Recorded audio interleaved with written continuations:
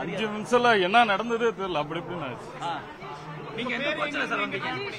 எந்த கோச்ல வந்தீங்க?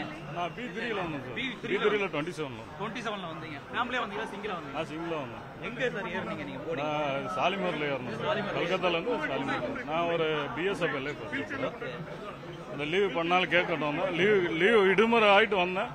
சரி அப்புறம் சாலிமலை ட்ரெயினில் மூன்றரை மணிக்கு ட்ரெயின் வந்தது. அதில் ஏறி பிடிச்சி வந்துட்டேன். நல்லா வண்டி நல்லா ஸ்பீடாக தான் வந்தான். பரவாயில்ல சென்னைக்கு நாளைக்கு ரெண்டு மணிக்கு கூட இறக்கி விட்டுருவோம் உங்களுக்கு இது அப்படி இருந்தேன். அப்புறம் பார்த்தா பால் அரிசி வந்தது.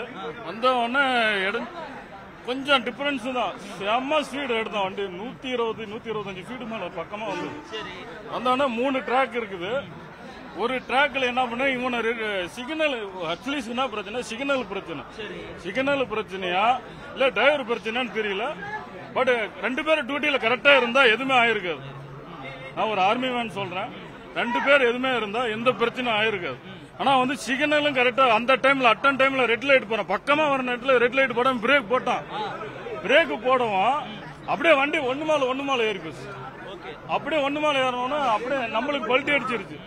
ஏன் கோச்சில் இருக்கிற வரைக்கும் நான் எல்லாத்தையும் என்னால முடிஞ்ச அளவுக்கு நான் எப்படி காப்பாற்ற முடியுமோ அந்த அளவுக்கு நான் காப்பாத்திட்டேன். என் உயிர் போனா கூட பரவாயில்லன்னு சொல்லி குழந்தைங்க முக்கியமா குழந்தைங்க இருந்தது. அந்த குழந்தைங்களாம் வெளியே தள்ளி விட்டு வெளியே தள்ளி விட்டு அதுக்கப்புறம் தான் நான் பேக்கெல்லாம் நீ எடுக்காதீங்க. என் சைடு வந்தீங்கன்னா வெயிட் சாஞ்சிரும். எல்லாம் ரைட்ல இருங்க. ரைட்ல இருங்க லெஃப்ட் சைடு மரம் வராதீங்க. ரைட்ல இருங்க. ரெண்டு ரெண்டு பேரை போங்க. ரெண்டு ரெண்டு பேரை போங்க. இந்த பக்கம் வந்தீங்கன்னா வெயிட் கம்மிச்சிரும். நம்மளுக்கு லைட்டா தான் சாஞ்சுது. நேம் கனகராஜ் சார் நான் சேலம் சார் சேலம்.